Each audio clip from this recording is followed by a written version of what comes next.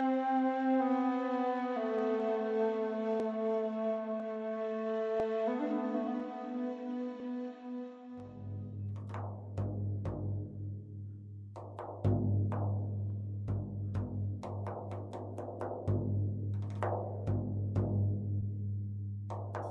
to the sword and bow to the kamiza or kamidana, then bow to the teacher.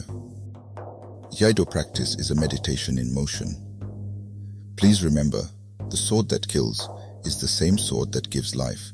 This killing should not be only understood as a person.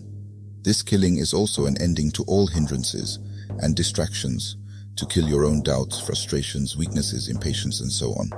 This killing of the evils within is crucial, as it's what gives birth to the good, the new you, the new life. More of these talks are further outlined in my book, A Walk Toward Victory Over the Ego, Journey Inward.